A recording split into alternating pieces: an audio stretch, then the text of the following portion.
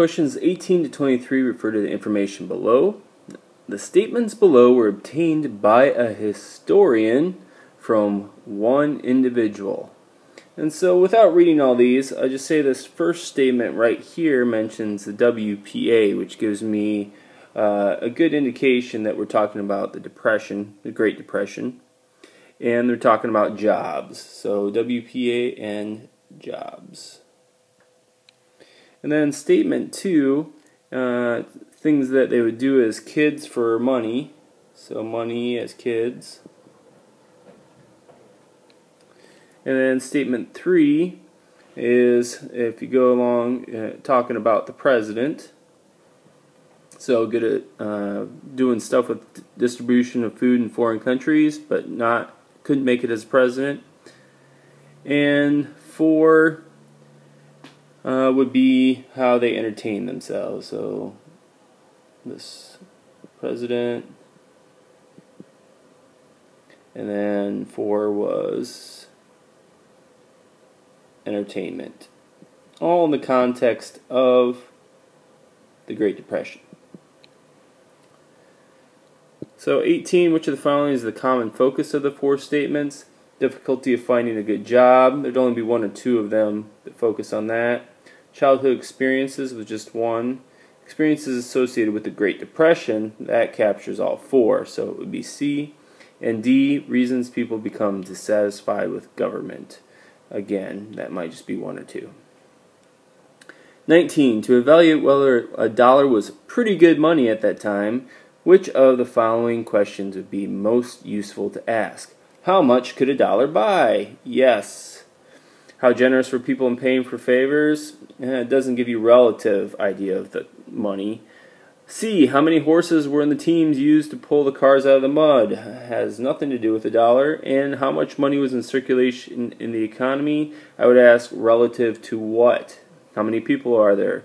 There are a lot of unknowns there that you need to be able to answer what is pretty good money. 20. Which of the following best summarizes the speaker's opinion of the president discussed in Statement 3? He was a good president who was especially effective in foreign affairs. Well, no, look at statement three. People were getting pretty disgusted with him. He was merely making promises. He got a lot of credit for the way he handled U.S. distribution in foreign countries. That's a positive. But he couldn't make it as president. So let's go back to 20. And no, can't be A. He was not a good president in here. B. He was a good president, but Congress failed to pass his programs. Nope.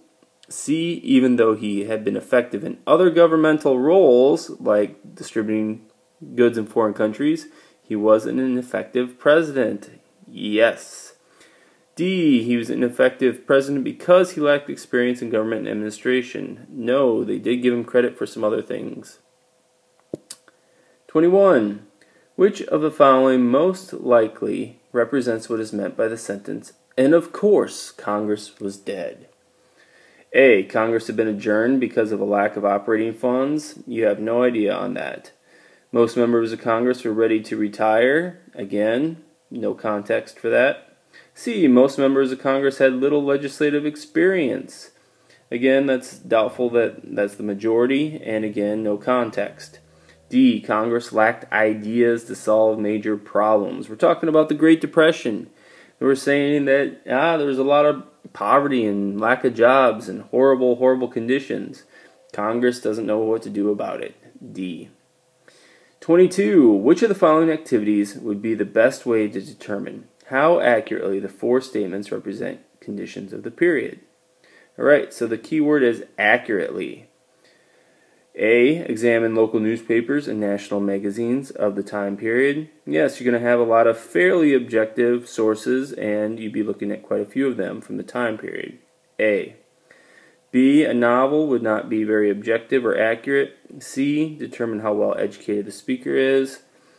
No, that's not relative to the accuracy. Or D. View a movie set in a time period. They're focuses on telling a story and a narrative, not being extremely accurate in the historical details. And finally, 23.